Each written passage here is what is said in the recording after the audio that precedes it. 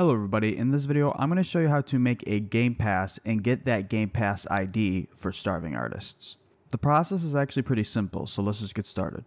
Now this tutorial is meant for the PC version of Roblox, but I plan on making a tutorial for the mobile version soon, and if I've made that tutorial, that video will be popping up on the corner of the screen right now.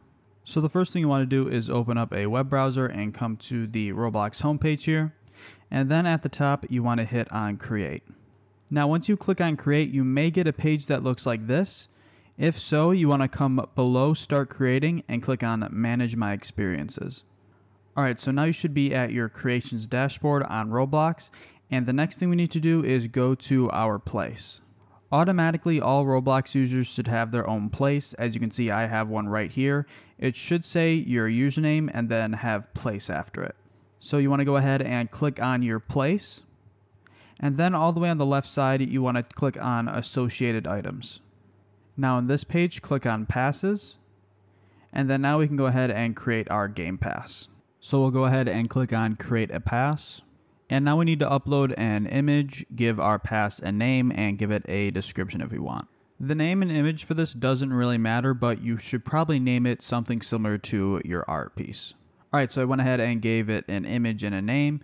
Again, you can give it a description if you want, but it's not necessary, so I'll go ahead and click on Create Pass.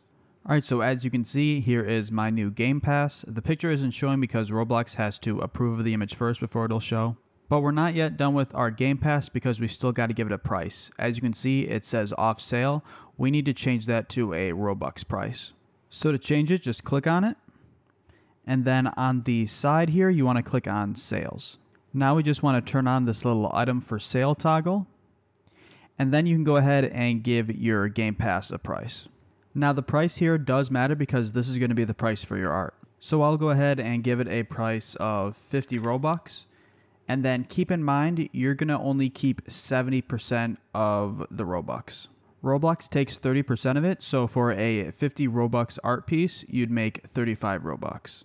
So once you got the price you want, you can go ahead and click on Save Changes. Alright, so next we got to go ahead and get this Game Pass ID.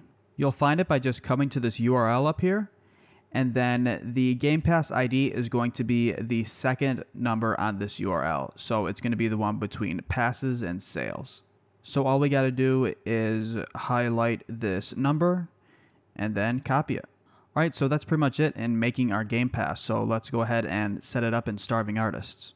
Alright, so here I am in Starving Artists. I just went ahead and claimed a booth.